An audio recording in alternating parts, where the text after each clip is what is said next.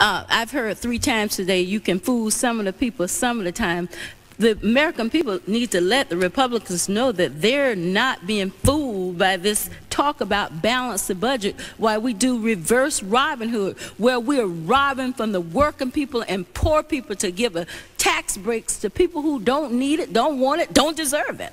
I think that, you know, the gentlelady from Florida is absolutely right. I applaud the work that you've done on the floor of this House uh, in order to try to uh, uh, bring out precisely what's going on here. Sometimes it's difficult uh, to get the word out uh, uh, and to really have people understand what kind of a shell game is being played on them.